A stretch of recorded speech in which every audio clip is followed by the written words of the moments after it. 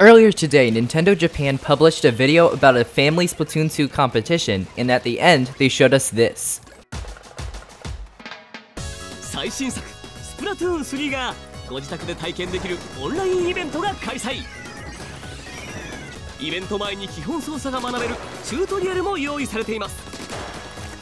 夏休み最後の日曜日初めての方でもお気軽にご参加ください